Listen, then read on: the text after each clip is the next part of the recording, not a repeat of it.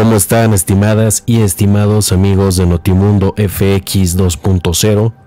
Hoy con las últimas noticias del mundo, 20 de marzo de 2019. Comenzamos.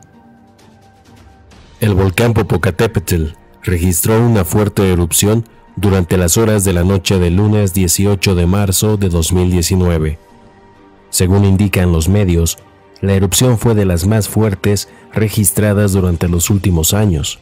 El fuerte estruendo se escuchó en un radio de 40 kilómetros. El estallido produjo una columna de gases y ceniza de 1,2 kilómetros de altura y arrojó fragmentos a varios kilómetros de distancia. Pese a esta fuerte actividad, las autoridades mexicanas mantienen el semáforo de alerta volcánica en amarillo fase 2 se pidió a la población no acercarse al volcán y protegerse de la caída de ceniza. El martes 19 de marzo, según indican varios medios, se registró casi 60 sismos en 12 horas, después de la fuerte erupción del volcán registrada el lunes 18 de marzo. El mayor número de movimientos telúricos se sintió en el sur del país. Al menos 59 sismos de magnitud entre 2,5 y 4,4 sacudieron ocho regiones de México en las últimas 12 horas, informó el Servicio Sismológico Nacional Mexicano.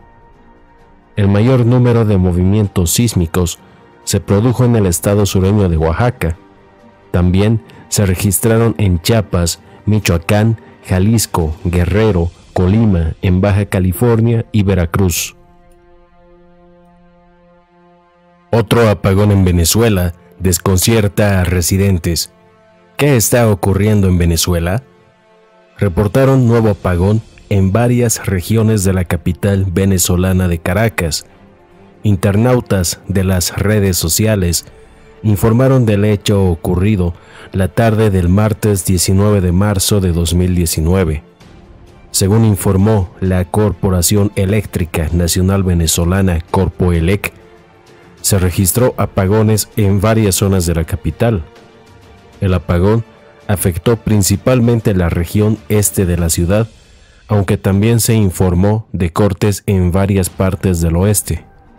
Servicios públicos, como el metro de Caracas, se vio afectado por el incidente. Sin embargo, fue puesto en funcionamiento horas más tarde. Después del apagón masivo ocurrido el pasado 7 de marzo, los residentes locales se encuentran desconcertados ante este hecho, cuya causa real aún se desconoce. El ciclón Idai devasta a Mozambique, causando el peor desastre del hemisferio sur. Según medios de información y autoridades locales, la cantidad de decesos podría superar los mil. El lunes 18 de marzo de 2019, tanto la ONU como las autoridades locales afirmaron que el ciclón tropical Idai fue el peor desastre en golpear al país africano. El ciclón tocó tierra el 14 de marzo de 2019 cerca de la ciudad de Beira, con velocidades de viento de más de 170 kilómetros por hora. Aldeas enteras desaparecieron cientos de hogares fueron destruidos. La ONU declaró que el ciclón Idai es posiblemente el peor desastre climático que haya golpeado el hemisferio sur. Cientos de miles más se vieron afectados en los países vecinos de Malawi y Zimbabue. Inundaciones severas causadas por las tormentas generaron hasta 20 pies de profundidad, causando una devastación sin precedentes afirmaron autoridades y medios locales. Imágenes aéreas impresionantes mostraron el daño y la devastación que dejó este ciclón. Es simplemente desolador.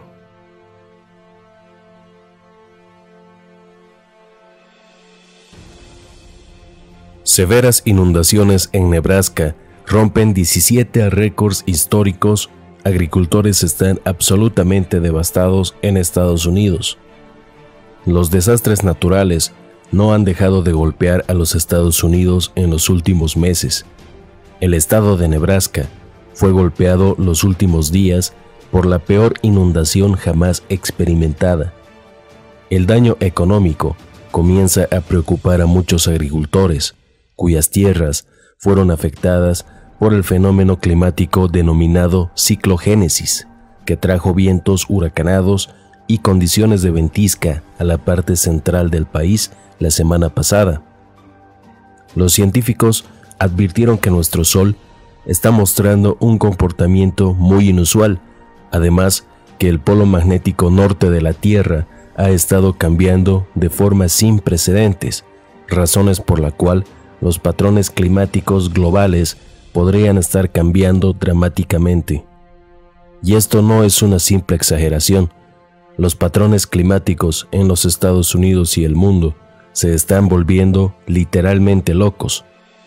El estado de Los Ángeles tuvo el febrero más frío que ha visto en 60 años. El estado de Seattle acaba de tener su febrero más nevado en 70 años y en algunas partes de California recibieron más de 500 pulgadas de nieve este invierno. El río más largo de Estados Unidos, el río Missouri, registró niveles récord nunca antes registrados en algunas partes. Según los medios locales, ya se han establecido un total de 17 récords. Ríos como el Plate en Louisville y el río Elkhorn en Waterloo también rompieron récord de inundación. Pero, ¿qué está pasando con nuestro clima? Según señalan los científicos, podría haber una relación directa entre el Sol, el campo magnético de la Tierra y nuestros patrones climáticos, que están cambiando de forma dramática. Y si esto continúa, la situación simplemente no dejará de empeorar. Hay estudios recientes que avalan que nuestro Sol podría experimentar una actividad inusual catastrófica en cualquier momento. Sea cual sea la causa, el clima está cambiando día a día y las catástrofes irán en aumento.